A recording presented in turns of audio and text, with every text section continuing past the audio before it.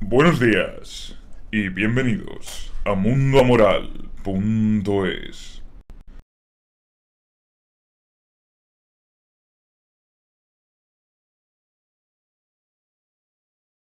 Il matrimonio tra i due non dovette essere molto felice, secondo la tradizione raccolta dal Boccaccio e fatta propria poi nell'Ottocento da Vittorio Imbriani, 53. Dante non scrisse infatti un solo verso alla moglie, mentre di costei non ci sono pervenute notizie sull'effettiva presenza al fianco del marito durante l'esilio. Comunque sia, l'unione generò due figli e una figlia, Jacopo, Pietro, Antonia e un possibile quarto, Giovanni, 52-54. Dei tre certi, Pietro fu giudice a Verona e l'unico che continuò la stirpe degli Alighieri. In quanto Jacopo scelse di seguire la carriera ecclesiastica, mentre Antonia divenne monaca con il nome di sorella Beatrice, sembra nel convento delle Olivetane a Ravenna, 52. Impegni politici e militari Magnifying Glass Icon MGX2.SVG Lo stesso argomento in dettaglio. Guelfi bianchi e neri e Storia di Firenze Gli ordinamenti di giustizia. Giovanni Villani.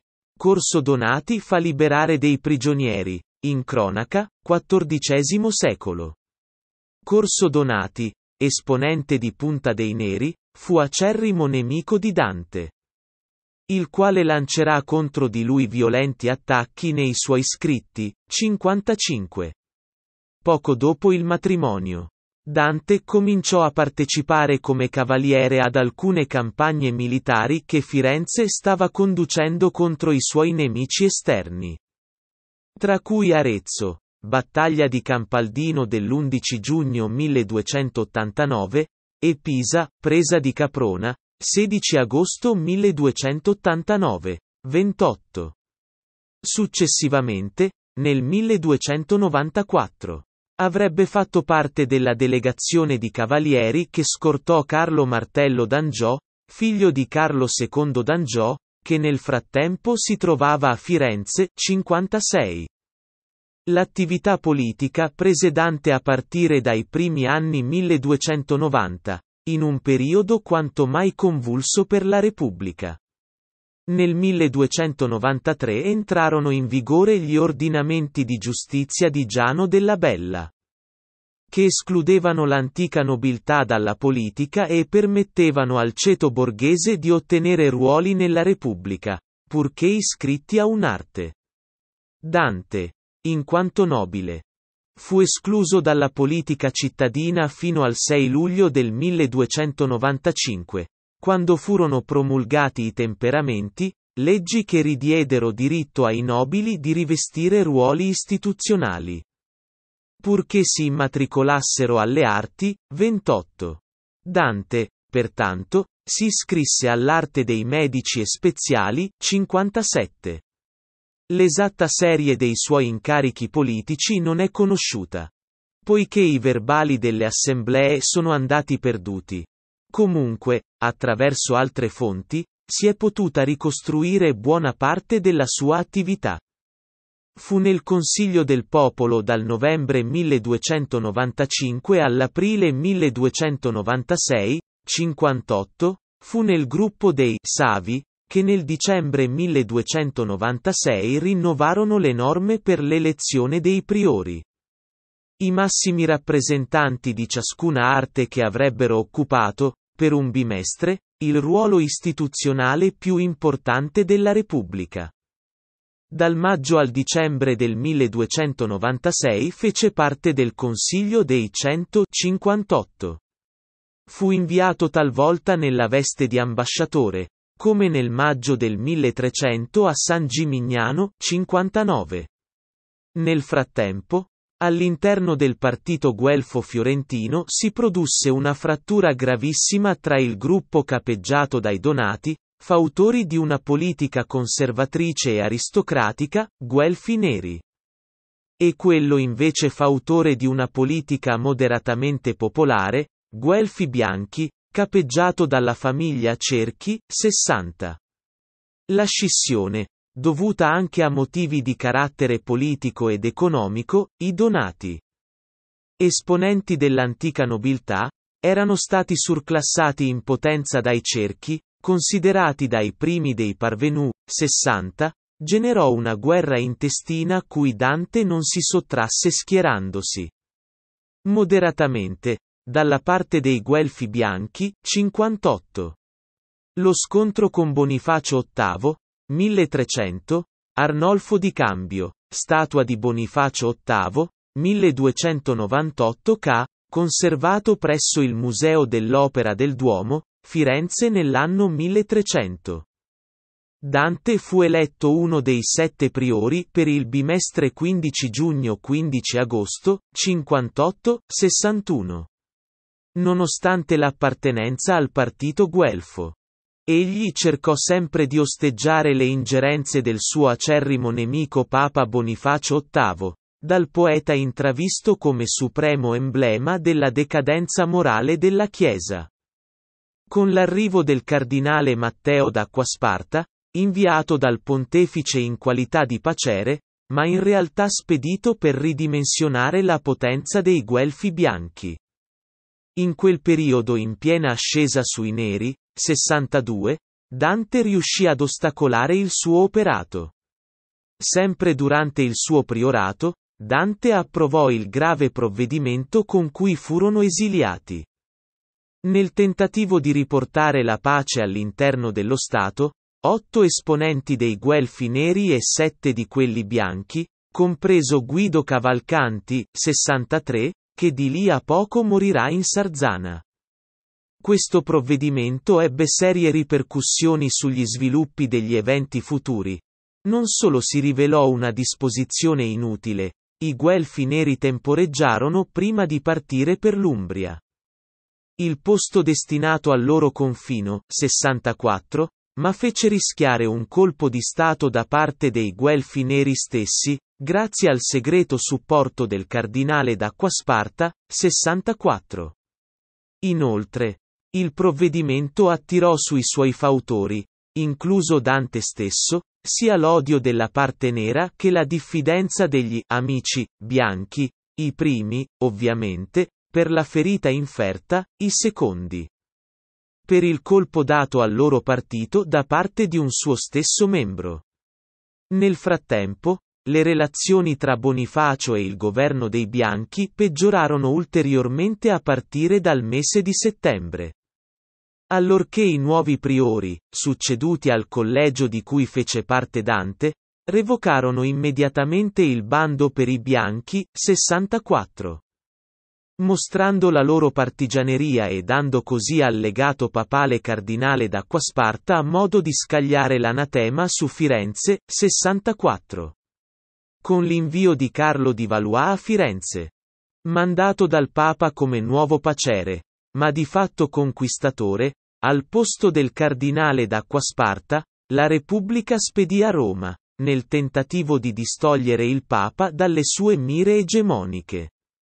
Un'ambasceria di cui faceva parte essenziale anche Dante, accompagnato da Maso Minerbetti e da Corazza da Signa, 62.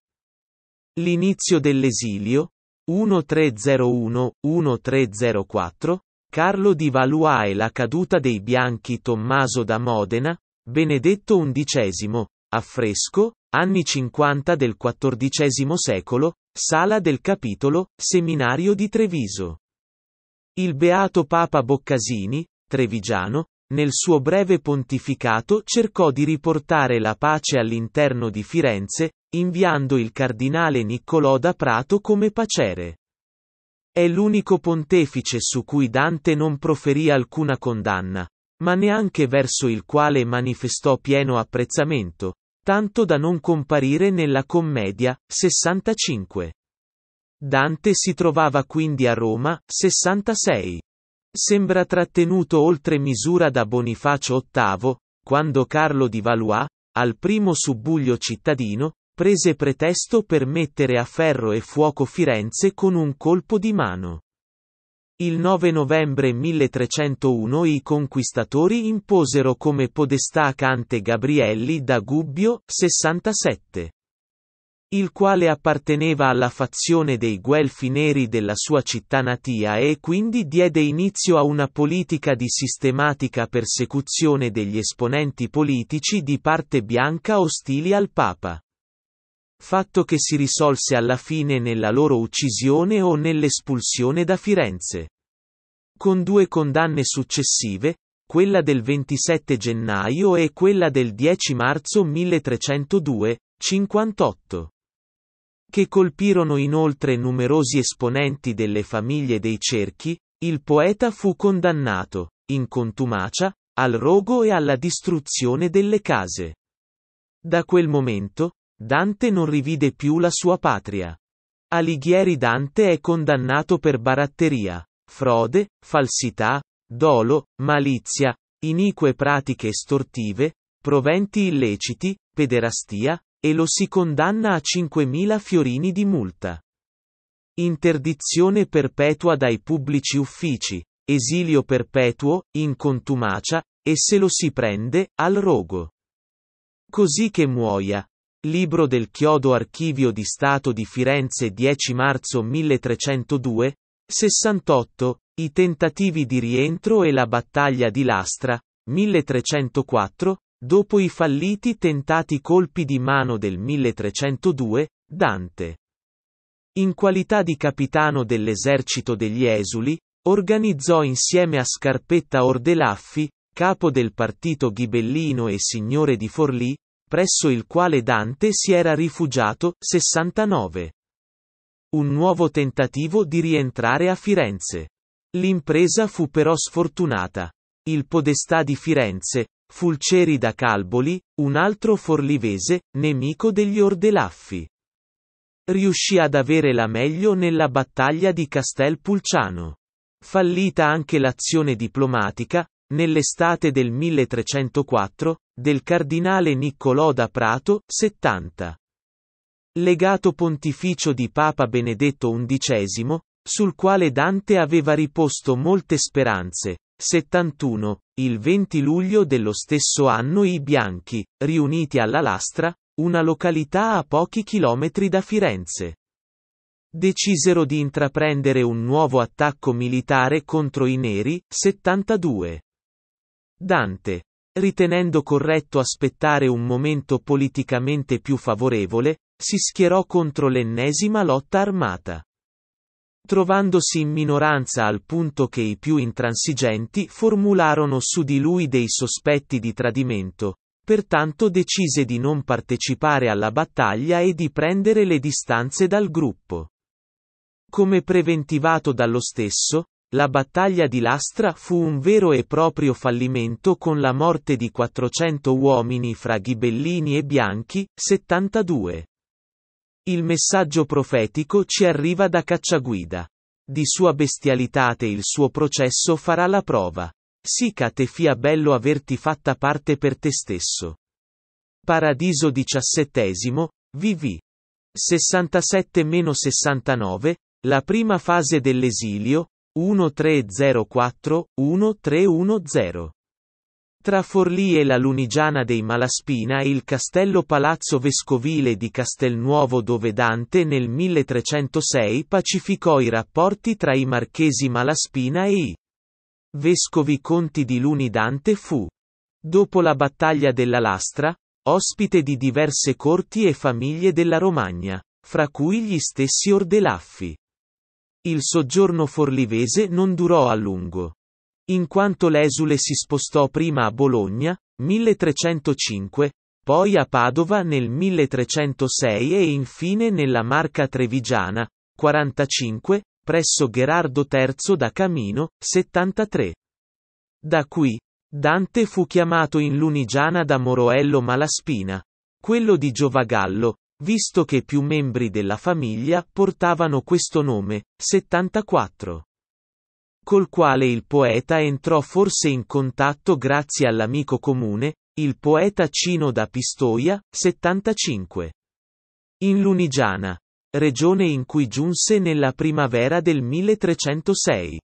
Dante ebbe l'occasione di negoziare la missione diplomatica per un'ipotesi di pace tra i Malaspina e il vescovo conte di Luni, Antonio Nuvolone da Camilla, 1297-1307, 76. In qualità di procuratore plenipotenziario dei Malaspina, Dante riuscì a far firmare da ambo le parti la pace di Castelnuovo del 6 ottobre del 1306, 46, 76.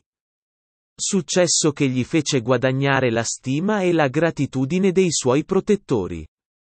L'ospitalità malaspiniana è celebrata nel canto ottavo del Purgatorio. Dove al termine del componimento Dante formula alla figura di Corrado Malaspina il giovane l'elogio del casato, 77, e io vi giuro. Che vostra gente onrata, sola va dritta e, elle mal cammin dispregia. PG ottavo, VV. 127-132, nel 1307, 78, dopo aver lasciato la Lunigiana, Dante si trasferì nel Casentino. Dove fu ospite dei conti Guidi, conti di Battifolle e signori di Poppi, presso i quali iniziò a stendere la cantica dell'inferno, 46. La discesa di Arrigo VII. 1310-1313, Monumento a Dante Alighieri a Villafranca in Lunigiana presso la tomba Sacello dei Malaspina François Xavier Fabre, ritratto di Ugo Foscolo, pittura, 1813. Biblioteca Nazionale Centrale di Firenze Il Ghibellin Fuggiasco Il soggiorno nel Casentino durò pochissimo tempo. Tra il 1308 e il 1310 si può infatti ipotizzare che il poeta risiedesse prima a Lucca e poi a Parigi. Anche se non è possibile valutare con certezza il soggiorno transalpino come già precedentemente esposto. Dante, molto più probabilmente, si trovava a Forlì nel 1310-79, dove ebbe la notizia. Nel mese di ottobre, 46, della discesa in Italia del nuovo imperatore Arrigo VII. Dante guardò a quella spedizione con grande speranza. In quanto vi intravedeva non soltanto la fine dell'anarchia politica italiana, 80, ma anche la concreta possibilità di rientrare finalmente a Firenze, 46. Infatti l'imperatore fu salutato dai ghibellini italiani e dai fuoriusciti politici guelfi. Connubio che spinse il poeta ad avvicinarsi alla fazione imperiale italiana, capeggiata dagli scaligeri di Verona, 81. Dante, che tra il 1308 e il 1311 stava scrivendo il De Monarchia. Manifestò le sue aperte simpatie imperiali, scagliando una violenta lettera contro i fiorentini il 31 marzo del 1311, 46, e giungendo. Sulla base di quanto affermato nell'epistola indirizzata ad Arrigo VII, a incontrare l'imperatore stesso in un colloquio privato, 82.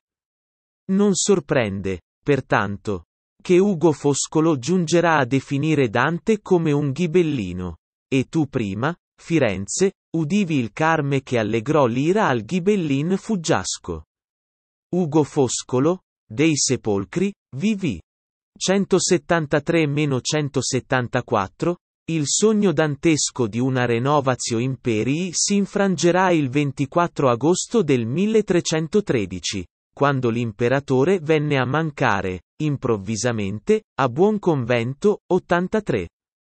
Se già la morte violenta di Corso Donati, avvenuta il 6 ottobre del 1308 per mano di Rossellino della Tosa, l'esponente più intransigente dei Guelfi Neri, 78. Aveva fatto crollare le speranze di Dante, la morte dell'imperatore diede un colpo mortale ai tentativi del poeta di rientrare definitivamente a Firenze, 78. Gli ultimi anni Can Grande della Scala. In un ritratto immaginario del XVII secolo. Abilissimo politico e grande condottiero, Can Grande fu mecenate della cultura e dei letterati in particolare, stringendo amicizia con Dante. Il soggiorno veronese, 1313-1318, Magnifying Glass Icon MGX2.SVG Lo stesso argomento in dettaglio, della scala. All'indomani della morte improvvisa dell'imperatore. Dante accolse l'invito di Can Grande della Scala a